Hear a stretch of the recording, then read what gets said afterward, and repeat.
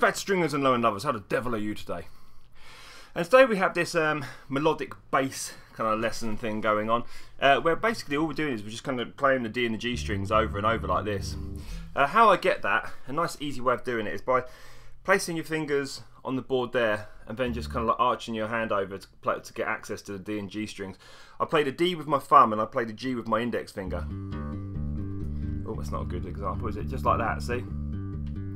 You can place your finger under the pickup, just as long as it's got that kind of like pivot point there. So, that's the technique, and all we do is play DG, DG, DG all the time. Uh, and then we're playing a melodic part over the top. So, get into that idea. Okay, the first thing we're going to do is going to come to the 10th fret on the D string with your ring finger. Play the, uh, yeah, D string obviously. and then play the G string. Okay.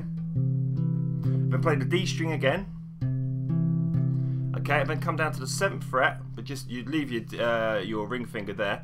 Um, seventh fret of the G string with your index finger. Okay, so that whole piece is yeah. That's the hardest bit because you've got that stretch there. Nice, huh?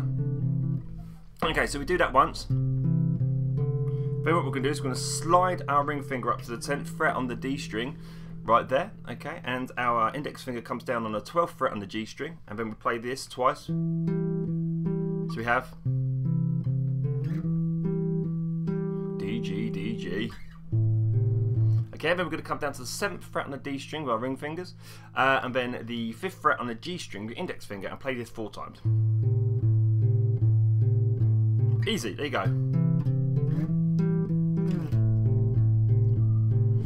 Okay, and that's it. That's the um, that that's kind of the, the the whole like idea of the thing. But there's so much freedom there with what you can do. So you can take that philosophy of just playing the DG and the DG and just move it around.